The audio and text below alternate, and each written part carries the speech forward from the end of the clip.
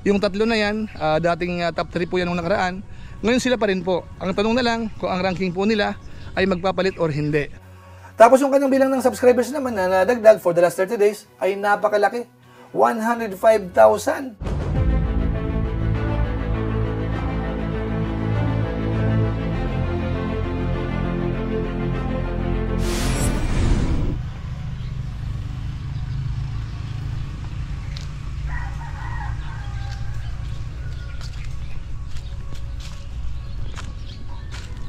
Ayun, shoutout guys. Uh, muli, welcome to my YouTube channel. Ito po si Kajulay, ang inyong katugang, ang inyong kalingap.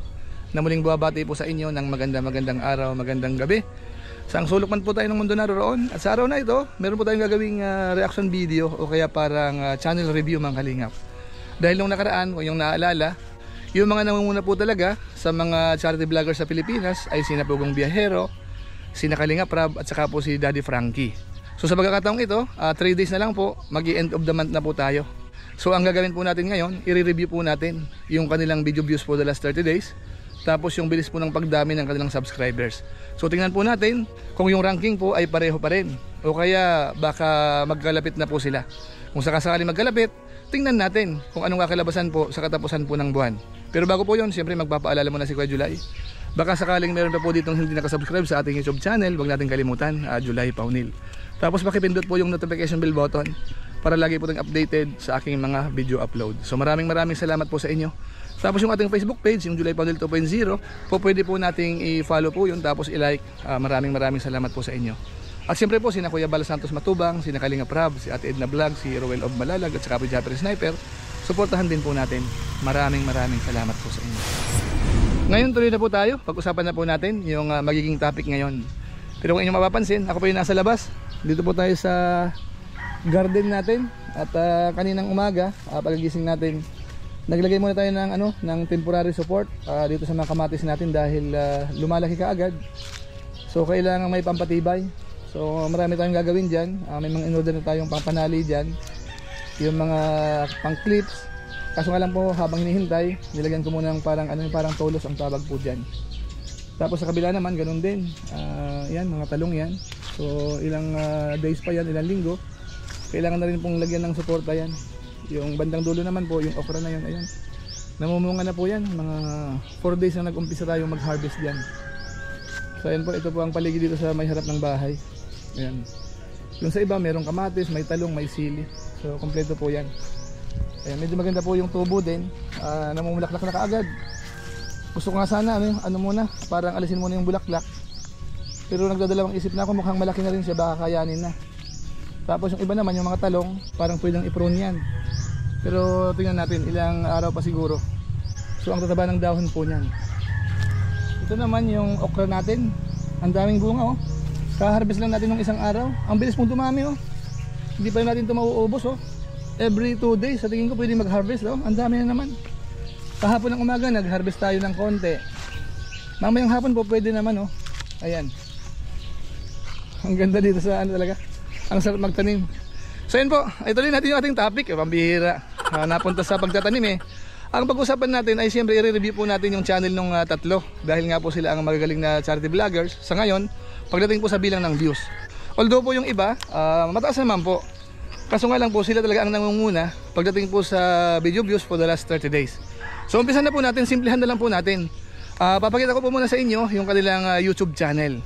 Pasadahan po natin yung mga latest upload po nila. Uh, dire-diretso na tayo. Umpisan natin kay Pogong Biyahero kay Kalinga Prab at saka po kay Daddy Frankie. Tapos maya maya ng konti yung statistics naman po. Tapos igagawa po natin ng pinaka summary so ngayon po puntahan na po natin ang kanilang YouTube channel. Ito po yun. Unahin po natin si Pugong Biyahero uh, bali ang kanyang uh, latest upload uh, 14 hours ago pero ang laki na po ng views 200,000 tapos yung isa naman 319,000 views one day ago Meron po siyang 347,000 views 2 days ago. Uh, ah, 289,000 views 3 days ago. Kung mapapansin po natin, uh, related po ito sa mga katutubo. Meron naman dito 460,000 views 4 days ago. 308,000 views 5 days ago. 351,000 views 6 days ago. Tapos 448,000 views 6 days ago. Ngayon po sunod po natin si Kalinga Prab. Ang kanyang mga latest upload, uh, yung patungkol po kay uh, Carla, yung sa debut niya, 403,000 views 11 hours ago. So, ang laki po nito. Tapos yung isa naman, uh, 407,000 views 20 hours ago. 394,000 views 2 days ago. 309,000 views 2 days ago. Meron dito 430,000 views 3 days ago. 344,000 views 4 days ago. 351,000 views 5 days ago. Tapos meron siyang uh, 209,000 views 5 days ago. So karamihan po dito, related po sa mga tinutulungan, Kalingap Angels, at saka yung iba pa pong mga pinapabahayan nila. Ngayon punta naman po natin si Daddy Frankie. Ang kanyang latest upload, uh, 13 hours ago, 122,000 views. Tapos meron dito, 162,000 views 1 day ago. 209,000 views 2 days ago. Tapos uh, 85,000 views 3 days ago. Uh, 412,000 views 4 days ago. Ito po, medyo malaki to ano. Ito po yung uh, mekaniko na babae. Tapos 104,000 views 5 days ago, 159,000 views 6 days ago. So sa kabuuan ho, maganda po yung uh, itinatakbo ng kanilang channel. Malakas po. So ayun mga kababayan po natin, uh, kitang-kita po natin uh, yung ganda po ng channel nila. Yung iba po, bagong upload, wala pang 24 hours pero ang laki na po ng views. Uh, ngayon po mas maganda yan kung itutuloy po natin sa kanilang statistics. Ito po panoorin po natin. Ngayon unahin po natin si Pugong Biyahero. Bali po ito as of January 28, 2024. So kung titingnan po natin yung kanyang video views for the last 30 days ay nasa 23.208 million. Bumaba po ng 20.6%. Tapos yung kanyang uh, bilang ng subscribers naman na nadagdag for the last 30 days ay nasa 60,000. Malaki pa rin po yan. Although bumaba po yan ng 14.3%. Tapos ang kanyang bilang ng subscribers na ngayon ay nasa 3.22 million. Ang kanyang total video views ay umaabot na po ng 890 million 326,491. At ang kanyang uh, rank sa Pilipinas ay pang 68. Ngayon sunod po natin si Kalinga Prab. Ang kanyang video views for the last 30 days ay makita natin dito, 22.661 million. Uh, tumas po ng konti, 0.7%. Tapos yung kanyang added subscribers naman for the last 30 days ay nasa 40,000. Bali tumas po yun ng 33.3%. Tapos yung kanyang bilang ng subscribers ay nasa 2.65 million. At ang kanyang total video views ay nasa 832 million 259,113. At ang kanyang rank sa Pilipinas ay pang 86. Ngayon sunod po natin si Daddy Frankie. Ang kanyang video views for the last 30 days ay umaabot na po ng 17.486 million. Tumas po yun ng 73.0%. Medyo kita po natin dito uh, sa graph, talagang uh, lumakas po ang channel ni Daddy Frankie. Mga few months na po ang nakakaraan. Tapos yung kanyang bilang ng subscribers naman na nadagdag for the last 30 days ay napakalaki. 105,000. Pambihira yan. Ang lakas ni Daddy Frankie talaga. Tumas po yan ng 86.7%. So pataas pa po ng pataas. Tapos yung kanyang bilang ng subscribers na ngayon ay nakakagulat. Mahigit kalahating milyon na po. 525,000. Tapos yung kanyang total video views ay umaabot na po ng 77 million 615,811. Yung kanyang rank sa Pilipinas ay hindi pa po pinapakita. Baka nalito si Social Blade kasi biglang tumaas po ito. What? so maganda po ang itinatakbo po ng kanilang channel based po sa statistics as of January 28, 2024. Ngayon, puntahan naman po natin yung pinaka-summary uh, based po sa 30 days time, uh, yung bilang po ng subscribers na nadagdag, tapos yung kanilang video views. Uh, dito po makita natin Uh, tatlong column ang ginawa po natin, kay Pugong Biyahero, kay Kalinga Prab, at saka po kay Daddy Frankie. Pagdating po sa bilang ng views for the last 30 days, ang namumuna po ay si Pugong Biyahero, 23.21 na million. Tapos yung kay Kalinga Prab, 22.6 million. At si Daddy Frankie naman po ay nasa 17.49 million. Yung kay Pugong Biyahero uh, bumaba po siya ng 20.6%. Kaya po kung makikita natin, medyo magkalapit po sila ni Kalinga Prab halos wala na pong uh, ah, 1 million ang difference po nila. Dahil si Kalinga Prab po, yung kanyang uh, ah, 22 or 23 million ay nami-maintain, uh, umangat na po ng 0.7%. So si Pugong Biyahero po nung nakarang buwan, uh, bali 28 million po yan, so bumaba po siya ng mga 5 million more or less. Tapos si Daddy Frankie po, paangat ng paangat, malapit na po silang uh, mahabol din. 17.49 million, tumas po yan ng 73%. Tapos ito po ang tingnan natin, pagdami po ng subscribers. Ito po kapansin-pansin po dito, si Daddy Frankie. 105,000. Ibig sabihin talaga, trending po talaga siya. Talagang legit po yung pagdami ng views with kasamang uh, subscribers. Tapos ang pangalawa po sa kanila ay si uh, Pugong Biyahero, 60,000.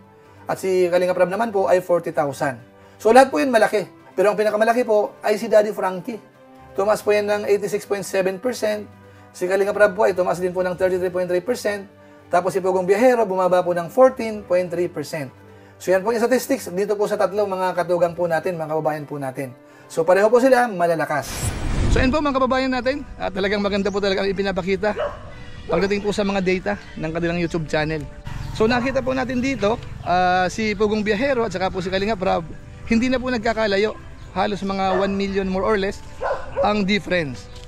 So sa pagkataong ito mga Kalingap, ah, meron pa tayong ano, 3 days bago mag-end of the month. Ang tanong ngayon, kaya kayang mahabol ni Kalinga Prab yung ah, views po ni ah, Pugong Biyahero? Dahil po nung nakaraang buwan, ah, yung buwan po ng ah, December ah, 2023, ah, lamang po si Pugong Biyahero ng mahigit ah, 5 million o kaya more or less 5 million yon kung hindi ako nagkakamali. So ngayon po medyo dumikit na po, nasa 1 million na more or less ang difference. So ang tanong ngayon, kayanin kaya ni Kalinga Prab? Makabalik kaya siya doon sa pagiging rank 1 mga Kalingap dahil ilang buwan na rin po na hawak-hawak po ni Pugong Biyahero yung rank 1. Bagamat siyempre ho, sila po ay hindi naman po yan mag-aaway, hindi naman natin pinag-aaway, kundi pinapakita lang po natin yung performance ng kanilang channel. Para yung mga fans naman, ah, nagkakaroon tayo ng idea kung saan nakakarating ang inyo pong mga suporta. Ano mga kalingap? So ilang po muna siguro ang pinaka main topic po natin, basta ang pinakasama rin po. Yung tatlo na yan, ah, dating ah, top 3 po yan nung nakaraan. Ngayon sila pa rin po. Ang tanong na lang kung ang ranking po nila ay magpapalit or hindi. Tapos sa part po ni Kalinga Prab, ah, dahil may mga trending ah, vlog po sa ngayon, kamukha nung uh, Dibo ni Carla, kaya kayang hilain pataas yun mga Kalingap. Siguro po sa mga susunod nating vlog, pag-uusapan po natin yan. Pero pansamantala po, ah, magpapaalam po muna si Kuya July. Ah, pero gaya po ng dati, ah, meron lang po muna tayong isa shout out.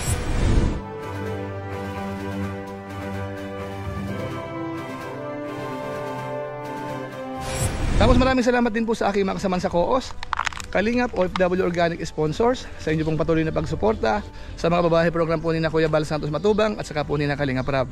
Maraming salamat po sa inyo. At siyempre po sa ating mga followers, sa ating mga viewers na laging nakasubaybay po sa ating channel, sa ating Facebook page, ah, maraming salamat po sa inyo.